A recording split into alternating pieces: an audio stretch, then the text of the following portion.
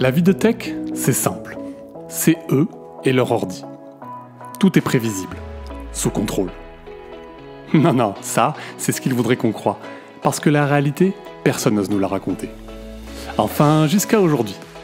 Dans Tronche de Tech, on va leur tirer les verres du nez. On va leur faire raconter leurs meilleures anecdotes, les nuits où tout part en sucette et les bugs que personne ne comprend. Et puis, s'ils sont sympas, on les laissera peut-être se vanter de quelques réussites. Je m'appelle Mathieu Sanchez, je suis le CTO d'Akazi et je vous souhaite une excellente écoute.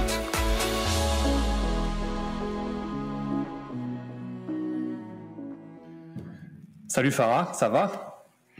Hello Mathieu, super. Merci beaucoup euh, de m'avoir invité. Très heureuse euh, de faire partie de ton podcast.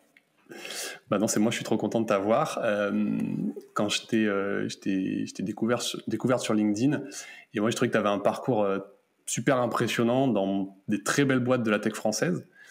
Et donc du coup, je, tu m'as promis en off que tu allais me révéler tout plein d'anecdotes sur ton parcours. Donc j'ai hâte de découvrir tout ça avec toi.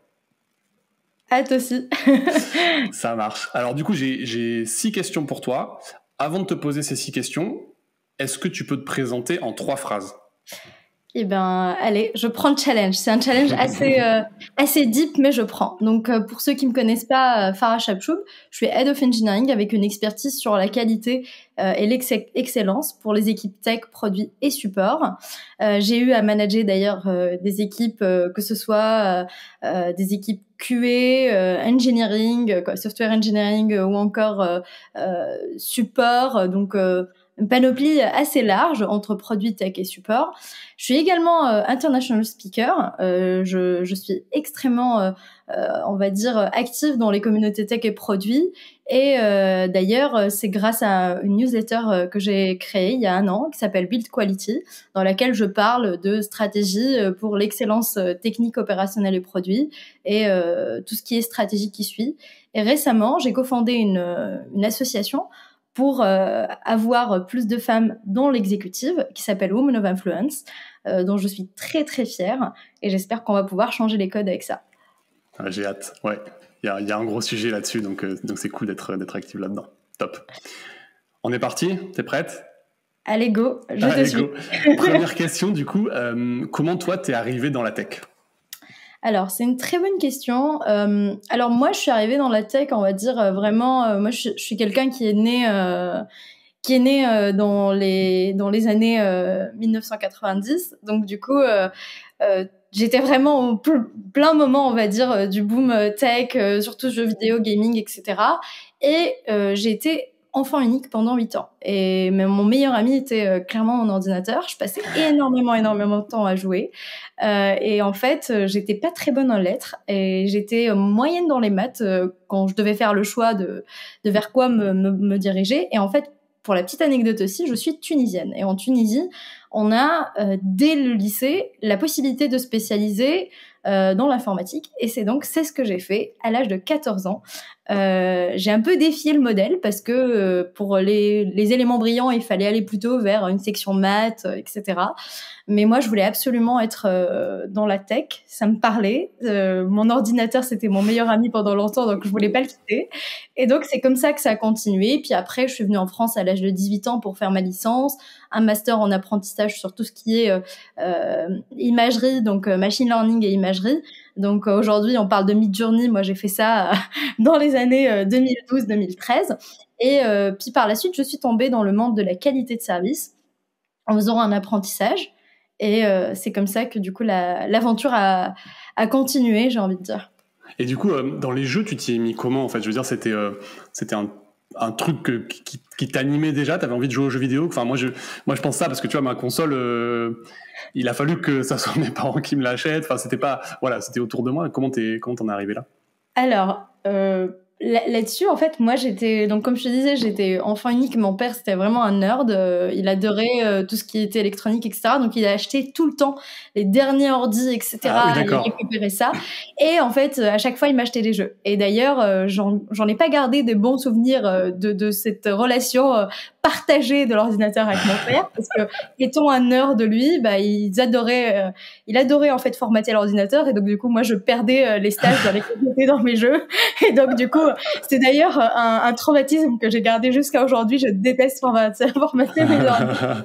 donc du coup voilà, donc c'est un peu comme ça que quand on est arrivé aux jeux vidéo, au départ je commençais à jouer avec lui, euh, on jouait ensemble, etc. Et puis après avec l'âge je, je, récupérais mon autonomie, j'avais mes propres jeux, mais on continuait à, à cher l'ordinateur jusqu'à, je dirais, euh, en fait, comme, comme dans les années 2000, on commençait vraiment à avoir des ordinateurs perso, et là, du coup, j'avais enfin mon ordinateur. Et enfin, je pouvais euh, jouer autant que je voulais euh, sans qu'on m'efface tout ce que j'avais fait avant. il te formatait pas le tien quand même, il formatait que le tien. Exactement. ok, très cool. Et du coup, c'était que de l'ordi ou c'était de la console aussi? C'était vraiment ordinateur tout le temps? Alors, les moments où j'étais beaucoup seule, c'était énormément d'ordi. La console, c'était plutôt avec mes cousins. On était 10, euh, 10 cousins, cousines. Et donc, du coup, pendant les vacances scolaires, euh, les parents, ils nous laissaient tous chez ma grand-mère. Et donc, du coup, on avait eu euh, les versions d'Atari, euh, bien sûr, avec un petit peu de décalage en Tunisie, il faut se le dire. Mais du coup, on, on avait ça tout le temps pendant les vacances. On restait, on jouait ensemble. Donc, euh, mais après, il y avait eu les, les, les, PlayStation, donc du coup, on avait les jeux de combat et tout. Donc, en fait, on est passé vraiment, on a vu la tech évoluer. En tout cas, moi, c'est comme ça que je le vois. J'ai vraiment vu la tech évoluer. J'ai joué dessus. J'ai commencé à jouer sur des consoles à l'âge peut-être de 3 ans. Et ça a jamais arrêté en vrai. Bon, maintenant je, je joue très très peu, euh, mais mais voilà, c'est quelque chose qui m'a énormément énormément euh, accompagné. Surtout qu'en fait, euh, l'autre point, c'est qu'en Tunisie, on n'avait pas les, les, versions originales qu'on voit aujourd'hui euh, ou même à l'époque. Donc il fallait aller craquer, il fallait comprendre comment il fallait craquer les jeux, etc. Et donc en fait, à un moment donné, je craquais moi-même les jeux. Donc c'était c'était aussi super passionnant de se dire bah en fait, je veux le full pack, comment je peux avoir, voilà. Donc c'était super cool. Et t'as as un jeu qui t'a marqué plus que les autres, tu vois, si tu devais en, en un Alors, il y en a deux. Euh, il y en a un, c'est vraiment la honte, mais, mais je le partage quand même parce que je continue à y jouer. J'adore ça. Euh, c'est les Sims. Euh, c'est un truc de dingue.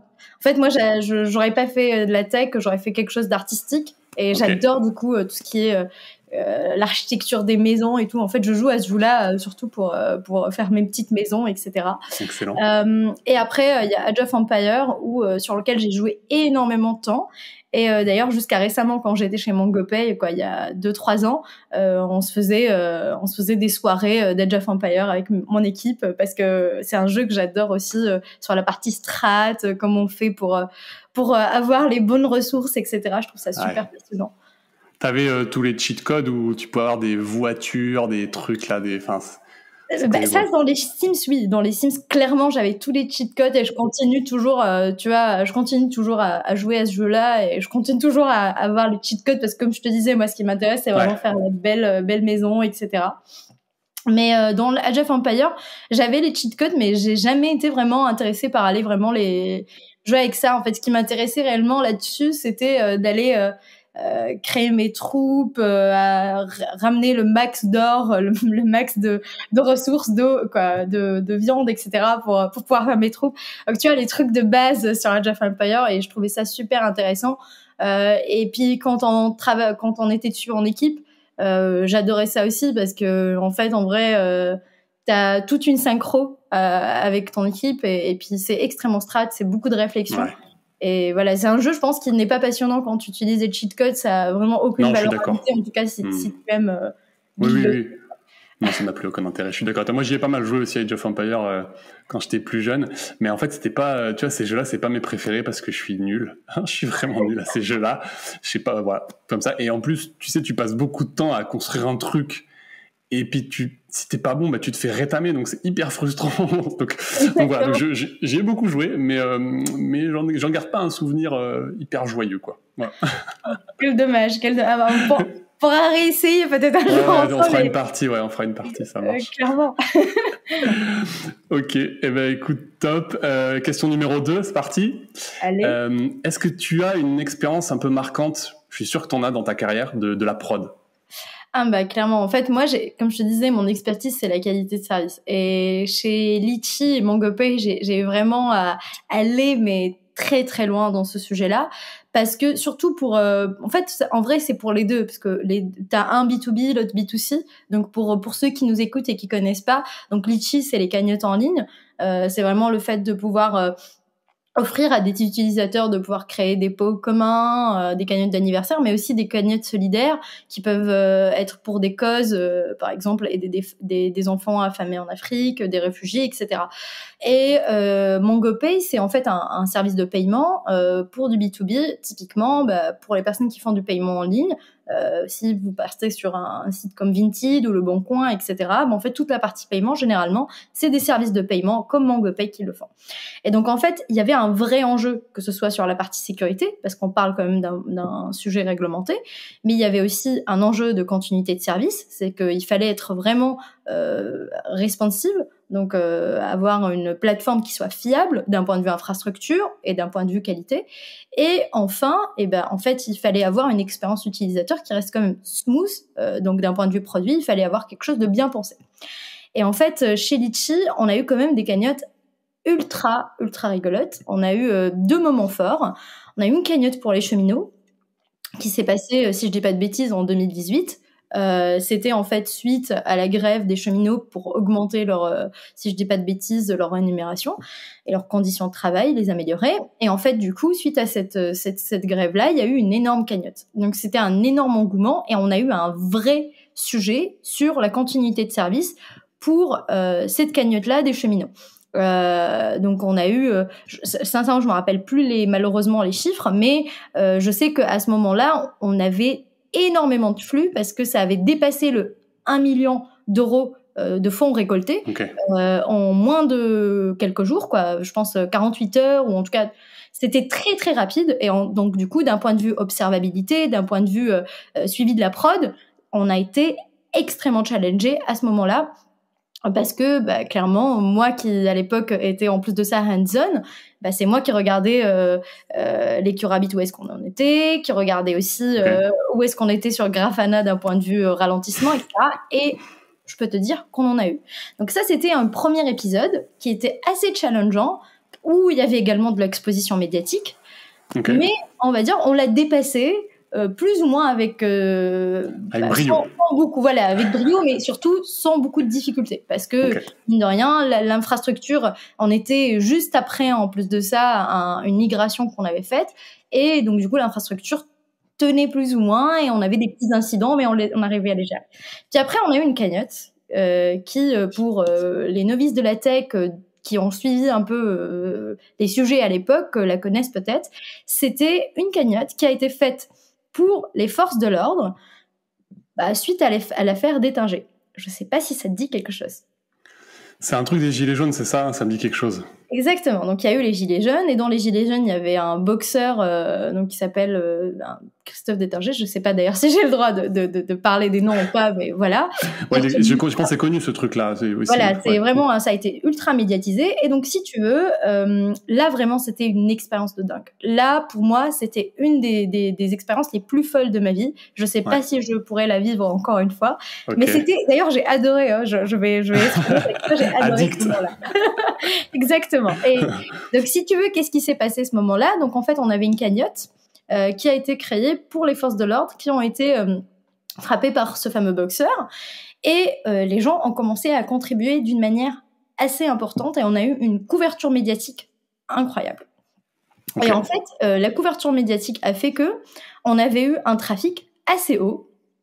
Et en fait, les, les contributions se faisaient d'une manière synchrone et asynchrone sur la cagnotte. Donc en gros, okay. quand tu contribues et que le, on va dire, on est en capacité de gérer la charge, la contribution apparaît directement. Donc okay. le montant est ajouté, tu reçois un mail de confirmation, tout allait bien. Et quand euh, on avait beaucoup de flux, ce qu'on faisait, c'est que euh, du coup, bah, en fait, ta contribution restait dans les Curabit, attendait mmh. D'être, euh, on va traité, dire, quoi. processé, ouais. voilà, traité. Ouais. Et, euh, et, en fait, une fois que c'est traité, c'est là où on met à jour le front, euh, etc.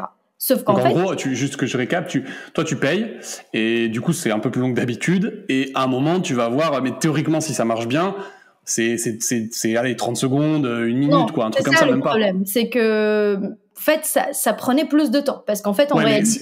alors attends, pardon. Si ça marche, si ça marche, t'es, es censé quand même de faire. Tu, tu mets pas 15 minutes. Normalement, tu dis quand même que tu dois le faire vite. C'est ça? C'est juste que tu Exactement. oui, oui, oui. si, si les choses fonctionnaient bien, c'était, on asynchrone, mais en réalité du synchrone, quoi. Tu, ouais. T'avais l'impression que c'était. Ok.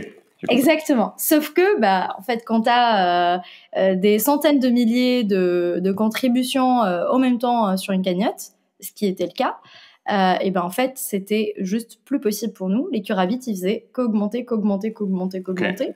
les tout le site était quoi, la page était ralentie et, et, donc du coup, bah, en fait, les gens contribuaient, mais voyaient pas la contribution. Donc qu'est-ce qui se passait? Et ben en fait, les gens recontribuaient.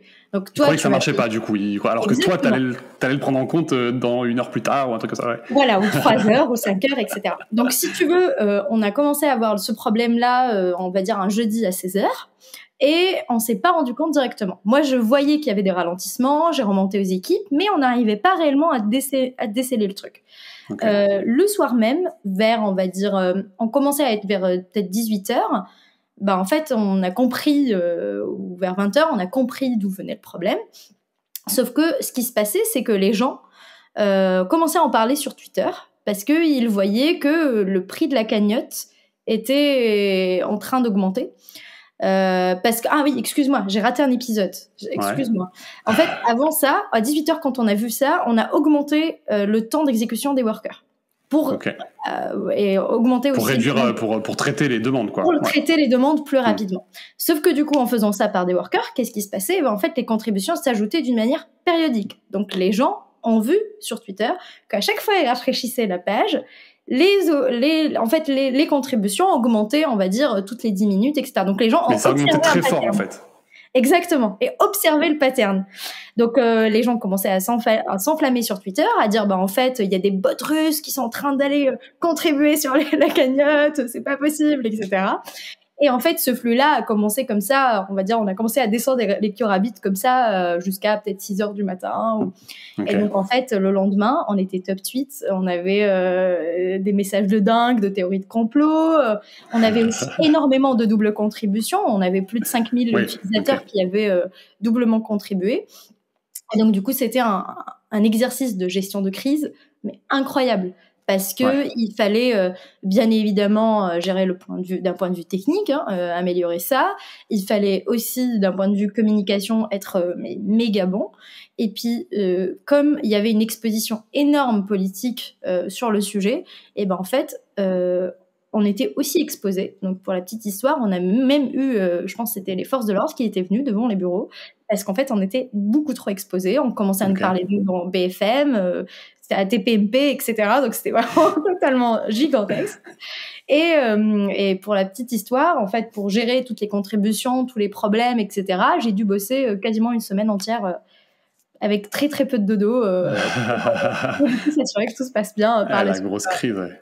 Mais du coup, tu avais donc avais des forces de l'ordre devant les bâtiments. Vous avez eu des gens qui sont venus, enfin des, des, des, je sais pas des gilets jaunes ou des gens qui sont venus voir dans les locaux. Ouais, Ah oui, bah si tu veux, moi j'étais au bureau, je pense pendant deux jours ou un jour. Euh, le jour où il y a eu l'incident, j'étais au bureau.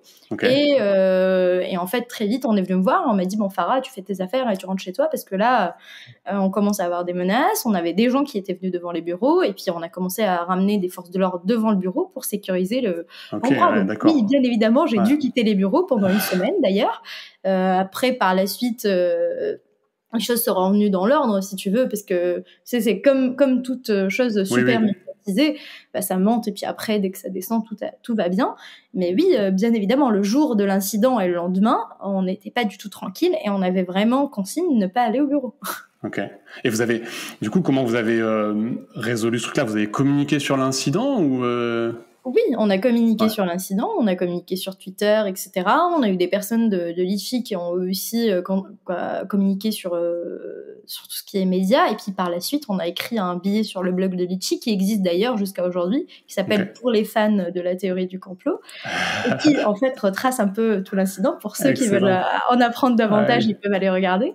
Mais, mais oui, du coup, il y a eu toute une communication. Et, et comme je te disais, moi, en fait, moi, j'étais à cette époque-là, j'étais Head of Quality Engineering pour Mongo et Litchi. Et dans mes équipes, euh, j'avais toute la partie gestion d'incidents, observabilité et euh, tout, tout, ce qui allait avec l'observabilité. Donc euh, les outils, les alertings, tout ça, tout ça c'était chez moi. Et j'étais hands-on également sur le sujet. Donc du coup, en fait, il y avait un vrai travail avec mes équipes pour que on, gère les war rooms, pour qu'on gère la communication mmh, interne et externe. Et c'était une quantité de travail de dingue parce qu'en fait, d'habitude, quand on fait de la gestion d'incidents euh, avec des équipes d'engineering, et même quand on a des incidents importants, que ce soit pour du B2B ou du B2C, on fait de la communication, on fait de la vulgarisation, mais ça reste, on va dire, assez facile. Petit. Mmh. Sauf que là, quand tu as des équipes marketing, quand tu as euh, la direction, euh, on a été d'ailleurs à l'époque on était on appartenait à Crédit Mutuel Arkea, donc on avait même des la direction d'Arkea qui nous demandait des, explications. Donc il fallait vraiment monter d'un cran dans la vulgarisation et dans euh, le fait de jongler avec le niveau de détail à communiquer à chacun. Voilà. Ouais, c'est ça. En fait, le, presque le problème technique, il est devenu anecdotique à la fin par rapport à toute la gestion, communication, politique, euh, crise, etc. Ouais, ok. Sincèrement, tout était chaud. Je, tu vois, vais pas te dire que le problème technique était pas important parce que c'était pas du tout. Tu vois, c'est pas le, je, j'abuserais parce qu'on a vraiment bossé main dans la main avec produits et tech euh, euh, d'arrache-pied pour régler le problème. Et puis même, en fait, une fois que l'incident est fini, toute la partie où bah, tu as des gens qui ont fait des, des contributions en doublant, il fallait, il fallait régler mm. ça, etc. Et puis, euh, il y a eu par la suite aussi une étape super formatrice et super intéressante, c'est de se dire bah, comment on évite euh, qu'on ait ça dans le futur. Et ça, c'est génial. Tu vois, tu, tu, fais, on a fait des post-mortem et on a travaillé là-dessus. On a réintégré ça dans notre roadmap pendant plus de six mois et on a bossé là-dessus euh, d'une manière, tu vois, après ça, typiquement, tu vois, pour la petite anecdote, après cet incident-là, les mises en production et les tests de performance étaient euh, deux choses qui allaient de pair. On, ne mettait plus du tout en production sans test de performance. Ok. Intéressant, c'est un truc que j'ai jamais euh, vu moi dans ma carrière aujourd'hui, des vrais tests de performance avant des mises en production. C'est un, c'est une grosse machine, j'imagine. Ah bah clairement, parce qu'il fallait mettre les, le budget d'un point de vue infrastructure, etc. Mais, mais euh, si tu veux, il n'y avait pas un autre moyen, et, et c'était super formateur parce que Bien évidemment, on a sorti le budget, mais on n'a pas sorti le budget d'une prod non plus. Hein. Il faut être aussi raisonnable. Mais voilà, c'est quand même euh, comme ça qu'on met en place euh, des, des environnements et on va dire des, des process qui marchent avec euh, les domaines dans lesquels on quoi, qui ont le, ce besoin-là, qui sont le, le fintech, ce que je te disais au départ, hein. c'est un comme sujet fintech, sécurité, expérience utilisateur, continuité de service, ça va de pair tu as des essais tu as des vrais engagements, que ce soit euh, moral ou encore euh, légal avec, avec les clients, et donc il fallait que ça tienne. Ok, incroyable, incroyable cette histoire. ça n'a pas dû être de tout repos, écoute.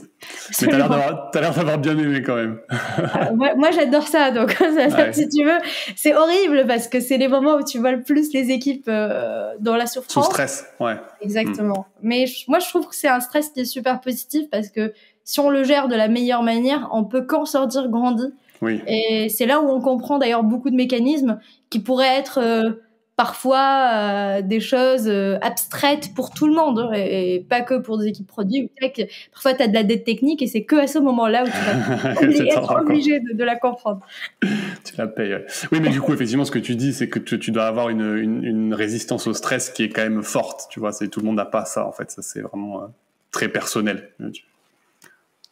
Bah, j'aimerais bien te dire ça, mais, mais je pense que je reste très stressée, mais que okay. j'emploie mon stress différemment. Tu vois, au lieu de d'être stressée et de mettre la pression aux équipes, euh, moi, ce que j'aime faire, c'est de me dire bon, pourquoi tu es stressé, de comprendre vraiment le pourquoi.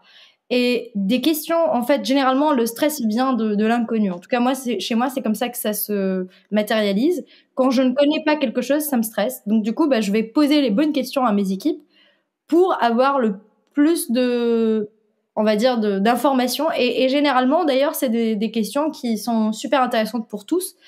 Parce que peut-être que chacun se les pose, mais n'ose pas les poser à, à, voix haute. Voilà, donc, tu vois, typiquement, à se dire, euh, bah, les gars, est-ce que, est-ce que là, le problème, est-ce que vous connaissez la route cause ou pas du tout euh, et, et, parfois, bon, en fait, enfin, on est totalement, on est totalement blind. On a deux pistes, mais voici les deux pistes, mais on est totalement blind.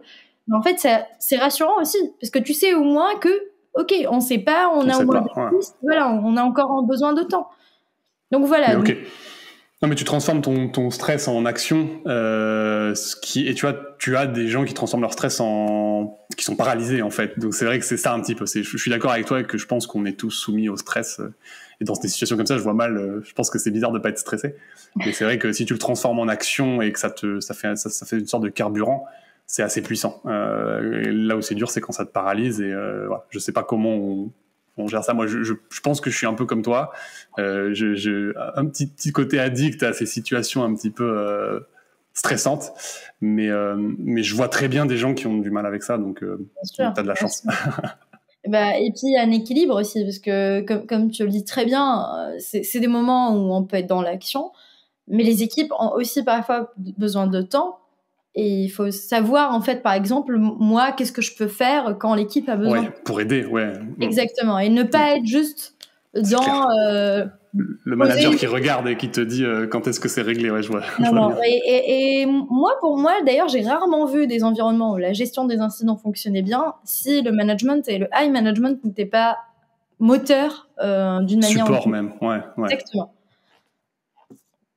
Eh ben, très cool. On passe à la question suivante. Allez, let's go. Allez, ça marche. Euh, tu m'as un peu répondu déjà. Euh, si tu n'avais pas été dans la tech, tu aurais fait quoi comme métier? Oui, je t'avais un peu teasé tout à l'heure sur la partie Sims artistique. Oui, clairement, euh, j'aurais fait de l'art. ça, c'est sûr. je pense que d'ailleurs, c'est ce qui fait que je suis partie vers la qualité, parce qu'il y a quelque chose de curiosité là-dedans qui m'a qui m'a toujours attirée. Euh, mais clairement, euh, si tu veux, moi, je fais, je fais de la peinture à l'huile depuis plusieurs années, depuis même que je suis euh, super jeune, quoi, peut-être l'âge de 8-9 ans, quoi. Et ça fait une dizaine d'années que je me suis mise à la photo. Donc, j'ai un appareil photo assez bien et tout. Et à chaque fois que je pars en voyage, d'ailleurs, j'adore le Japon. Donc, là, dernièrement, j'ai été en deux mois et j'adore prendre en photo tout ce qui est architecture. Donc vraiment, il y a un vrai sujet architecture, art et, photographie. Et maintenant, je fais ça un peu en side project, vu que j'ai un compte Instagram que j'alimente avec ces photos-là, etc. Euh, je le fais pas du tout à un point de vue pro, pas encore en tout cas. Euh, mais, euh, mais voilà, je m'amuse énormément sur cette partie-là artistique et c'est quelque chose aujourd'hui qui me permet d'ailleurs de m'évader, de déstresser euh, quand on a un problème, de, de, prendre le temps aussi après et d'aller faire quelque chose d'autre totalement à côté. Et donc voilà, je sais pas si j'ai bien répondu à ta question. Si, si, si, c'est très clair. Donc, un truc artistique. Et là, du coup, la photo, du coup, ce que tu dis, c'est plutôt du, du, paysage et même des bâtiments, de l'archi plutôt que des. C'est pas des portraits, quoi. j'ai Là, récemment, j'ai commencé à m'y mettre un peu au portrait. Euh, mais c'est plus, euh, j'aime beaucoup la, la, la ville. Euh, je suis pas assez euh, nature, mais plus ville. J'aime vraiment beaucoup la ville. Et même d'ailleurs dans mes voyages, je, préfère aller voir des villes et photographier des bâtiments, des, des choses, on va dire, tout ce qui est, par exemple, bâtiments qui sont vieux bâtiments, des choses comme ça. J'adore ça. Okay. Pas forcément délabré, hein, mais vraiment, vraiment. Non, mais de l'architecture un peu ancienne, ouais. Exactement. Euh, et ça, ça c'est là où je m'amuse le plus. Là, j'ai commencé récemment le portrait, mais je pense que j'ai encore du chemin à faire euh, sur le sujet. Ouais, c'est pas du tout les mêmes techniques, c'est ça, rien à voir. Hein. Ah bah clairement, clairement pas. Si tu veux, le, c'est facile entre guillemets tout ce qui est architecture parce que tu as quelque chose de de statique et tu as, as, à faire le bon réglage, donc tu t'adaptes par rapport aux luminosités, etc à choisir le bon angle, mais ça va. Euh, le, le, portrait, généralement, tu as des personnes qui sont en mouvement. En tout cas, moi, c'est le portrait que j'ai commencé à faire. Et donc, du coup, bah, en fait, tu as plus de complexité. Parce que parfois, bah, tu vas avoir euh, une basse luminosité et une personne qui est en, mouvement. C'est très, très dur de ne pas avoir du flou, par exemple, euh, d'avoir assez de détails. voilà. Ok, très clair. Excellent. Euh, question suivante. Un truc sur lequel tu as changé d'avis durant ta carrière? Alors, euh, il y a beaucoup, beaucoup de choses, mais je pense que peut-être le sujet euh, sur lequel j'ai le plus, pas autant changé d'avis, mais évolué dans ma vision, c'est la nécessité d'avoir des personnes seniors dans ces équipes. Quand j'ai commencé le management, j'avais plus tendance à me dire, j'ai vraiment envie de prendre des personnes qui arrivent tout juste sur le marché, qui sont en reconversion, que j'ai envie d'accompagner, d'aider à grandir, etc. Et je pense parce que j'arrivais aussi avec une vision assez naïve de me dire, on a le temps de, faire avancer les choses. Je pense que ça, ça peut être le cas dans des environnements où on a réellement le temps, où on a la, capacité d'accompagner les personnes. Mais plus tard, typiquement là, ma dernière expérience chez Encore Store ou même chez Livestore, où on est dans des environnements à haute croissance, ben, en fait, j'ai pris vraiment la conscience à quel point c'était important de prendre dès le départ des personnes très seniors et pouvoir s'entourer de, de, de leur expertise pour pouvoir évoluer ça n'enlève pas la capacité de prendre des personnes plus juniors, plus en reconversion, mais plus loin, on va dire, euh, dans, dans la stratégie mm-hmm. de scale. Mais on va dire, j'ai vraiment pris conscience à quel point c'était précieux euh, de travailler avec des personnes seniors, surtout quand on a des personnes seniors avec le bon mindset. Parce qu'on peut avoir des personnes qui ont eu plusieurs années d'expérience ou même qui ont une certaine expertise sur des sujets, mais qui ne sont pas en capacité d'avoir un certain leadership et de faire du changement, d'accompagner le changement, on va dire, de manager et d'être travailler en hand euh, quoi hand hand euh, avec la personne pour évoluer et donc voilà donc ça c'est un sujet sur lequel j'ai beaucoup beaucoup euh, euh beaucoup beaucoup euh, changé d'avis évolué ouais non mais c'est intéressant ce truc là après en fait c'est vrai que il y a un sujet aujourd'hui, notamment sur le marché des juniors, tu sais, avec, dans la tech, où il y a beaucoup de formations accélérées sur la partie dev, et du coup, tu as un problème entre l'adéquation offre-demande. Aujourd'hui, tu as beaucoup de juniors qui ont du mal à trouver un travail.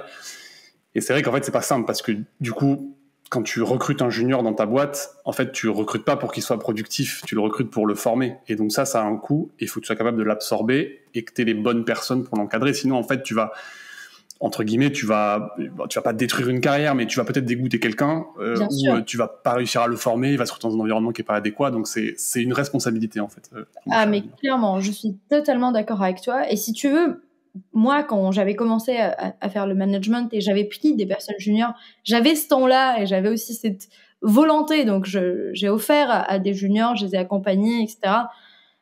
Mais par la suite, quand on a des gros challenges et quand on commence aussi à avoir des, équipes assez conséquentes, euh, même si la volonté est là, euh, en tout cas, si on n'a pas des personnes dans son équipe qui, elles, ont le temps, qu'on n'a pas les bons mécanismes dans la boîte, ça va être plus dur. Et comme tu l'as bien dit, bah, ça va plus dégoûter les personnes. Et puis en fait tout le monde va être perdant dans l'équation, euh, les, personnes qu'ils ont rejoint et, puis euh, l'entreprise et, l'équipe.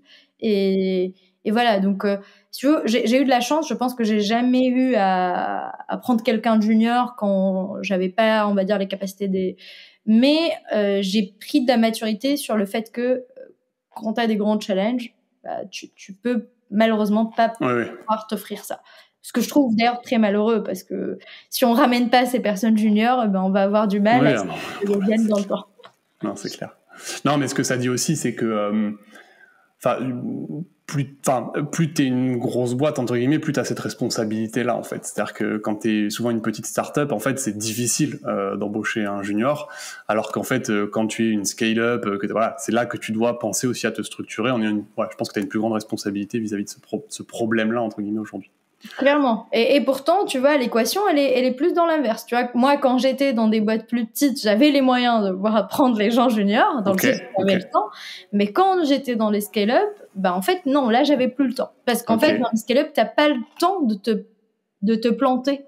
Euh, L'enjeu, en fait, euh, surtout Parce que t'as déjà le, ouais, t'as déjà l'accélération, en fait. Exactement.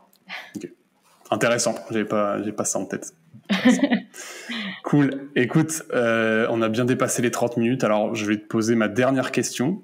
Euh, est-ce que tu as une opinion tranchée sur un sujet? Je suis sûr que tu en as, mais euh, sur un sujet particulier Une opinion tranchée Non je, vais te dire en fait que pour moi, il n'y a pas de boîte. D'ailleurs, c'est quelque chose qui, quand tu vas sur mon, sur mon, sur mon LinkedIn, tu vas le voir euh, dans, dans, dans mon, mon, Ta bannière là. Hein. bannière, euh, c'est euh, Build Sustainable Growth. Et en fait, on ne doit pas penser que à la rétention, on doit aussi penser à la, à la conversion et on ne doit pas penser juste à la productivité, mais on doit aussi penser à la, à la qualité.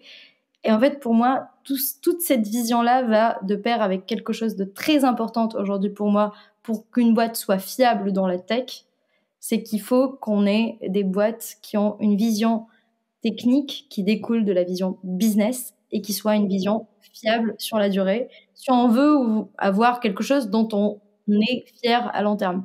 Euh, c'est vraiment quelque chose que je ne sais pas si je suis assez précise, mais en tout cas, je suis très tranchée sur ça. Pour moi, euh, tu vois, tout à l'heure, on parlait des gestions d'incidents, mais une boîte qui n'a pas des vrais process d'amélioration continue, de gestion d'incidents, de post-mortem, etc., euh, où ça ne découle pas d'ailleurs d'une vision très business-orientée et pas qu'une vision tech en mode, bah, en fait, on a les Rabbit Queue qui, tu vois, ce que je te racontais tout à l'heure, on a assez de workers, ça marche en asynchrone, etc. On n'a pas une vision business liée à tout ça bah, on est hors sol et par la suite on peut pas on peut pas build un truc qui est incroyable beau euh, qui va être euh, valorisé à quelque chose. Quoi on peut valoriser la boîte à ce qu'on veut parce que aujourd'hui ça, ne dépend pas que de ça. Mais pour moi ce n'est pas réellement fiable euh, sur la réalité du terrain. Ce que, ce que tu dis un peu si j'essaie de reformuler c'est que faut faut pas trop brûler les étapes. C'est-à-dire que même si tu dois aller vite, euh, si tu négliges la qualité, à un moment ça te ça te revient dans les dents et que du coup il faut mettre en place des process pour analyser en fait les les, causes profondes des problèmes que tu rencontres plutôt que de dire ah, c'est bon on a eu le problème c'est passé et on le met derrière nous parce qu'il reviendra pas. C'est un peu ça que tu dis? Exactement, c'est ça plus que le fait que tu le lis avec le business. Bien sûr, ok. Voilà, c'est c'est surtout ça si tu veux. moi il faut que le business drive le tout. Donc, euh, donc euh, la tech au service du business, en fait. C'est un, peu ça. Et oui, totalement. Ne pas oublier ça. Hyper important. Écoute, super. J'ai plus de questions pour toi. Euh, est-ce que je peux te laisser le mot de la fin? Donc, tu peux dire ce que tu veux, hein, si tu as envie de passer un message, n'importe quoi. Et eh ben, déjà, merci beaucoup Mathieu pour, pour cette interview. Avec plaisir. C'est vraiment super intéressant d'échanger avec toi et de donner des petites anecdotes. Euh, merci à nos auditeurs et auditrices surtout. Hein, euh, surtout, j'espère qu'il y en a beaucoup. Exactement, parce que voilà, aujourd'hui, comme je te disais, il y a un vrai sujet sur euh, la femme. Euh, pour pour ceux qui nous écoutent, moi, je vraiment, euh, je recommande à surtout les personnes juniors, on en a parlé un tout petit peu, euh, de ne pas hésiter d'écouter de plus en plus de podcasts, de lire des newsletters, de rentrer dans des communautés, il y en a plein. Et euh, c'est pour moi un, accélérateur, un accélérateur incroyable pour ceux qui veulent évoluer et grandir, que ce soit sur euh, le plan professionnel ou personnel. Et merci énormément, Mathieu, d'avoir euh, eu cette idée de podcast dans la tech. On en a besoin de plus en plus de contenu en, français euh, sur euh, ces sujets-là. Donc, euh, merci encore pour l'invitation. Bah non, trop cool. Écoutez, du coup, tu seras la première femme dans le podcast. Et ben, j'espère qu'il y en aura plein d'autres. En tout cas, je vais faire le max pour qu'il y en ait plein d'autres. Tu vas me donner un petit coup de main d'ailleurs. Avec plaisir. Et puis, on mettra du coup dans les dans les notes de l'épisode, on mettra ta, ta newsletter, on mettra on mettra Women of Influence que tu as que as cofondé. Euh, donc voilà, j'espère que effectivement, j'espère que dans quelques années, on aura quelque chose de plus équilibré dans la tech, ça serait chouette. J'espère aussi. Top. Bon bah écoute, merci pour tout ça, Farah. C'était un plaisir de, passer ce moment-là avec toi. Euh, je te dis, euh, je te dis encore merci, puis à bientôt. À bientôt.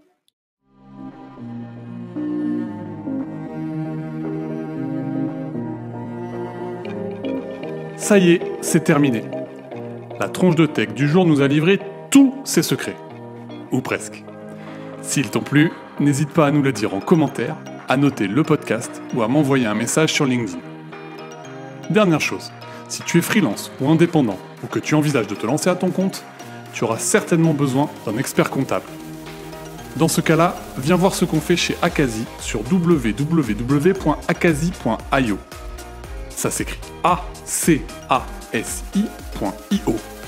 Et promis, tu seras super bien accueilli. Sur ce, je te dis à très vite pour un prochain épisode de Tronche de Tech.